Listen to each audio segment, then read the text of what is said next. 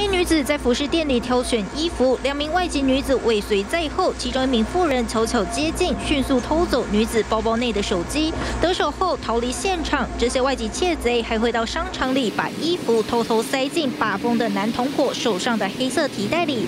只是这些窃贼偷的东西不止这样，还有大量巧克力、文具等生活用品，似乎是为了带回国庆祝耶诞节。一个月就是耶诞节，台湾商圈到处满满过节气氛。这些越南籍窃贼过往都是爬走皮夹现金，这回看中台湾大打促销，偷走不少生活用品。你买的吗？买。You stole has or buy? Stole. 不是是什么？Where do you buy?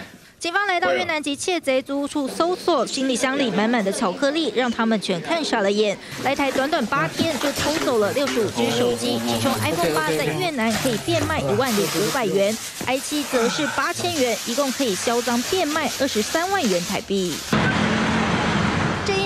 就是横行大台北地区的越南籍窃盗集团，不懂中文，却在搭计程车移动时，拿出上头写有地址的中文纸条，到夜市、商圈、菜市场或百货公司等地方下手，疑似背后有集团式操控。他们是说要带回去给小孩使用。那手机的部分是要带回去贩卖，那他们都是夹在行李箱啊，托运出去。外籍窃贼大肆偷走巧克力、文具等生活用品，就是为了回国庆祝耶诞节。但这下狼狈被逮，这个节也过不成了。记者谢耀珍、陈子芳台北报道。